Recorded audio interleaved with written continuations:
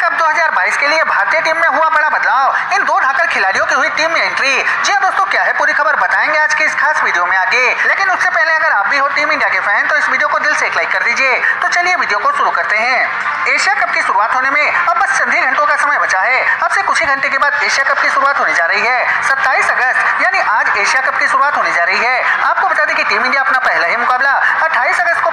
साथ खेलने वाली है। हालाँकि आपको बता दें कि एशिया कप के लिए भारतीय स्क्वाड का पहले ही ऐलान कर दिया गया था, लेकिन अब बीसीसीआई ने बड़ा दांव खेलते हुए दो ढाकर खिलाड़ियों को भारतीय टीम में शामिल कर लिया है। दरअसल बात करें अगर पहले खिलाड़ी की तो दीपक चहर पहले से ही भारतीय स्क्वाड में स्टैंड बॉय प्लेयर के तौर पर शामिल किए गए थे। लेकिन आपको बता दें कि अब दीपक चहर हमें भारतीय टीम के प्लेइंग इलेवन में खेलते हुए नज़र आने वाले हैं। साथ ही अगर बात करें भारतीय टीम के दूसरे खिलाड़ी के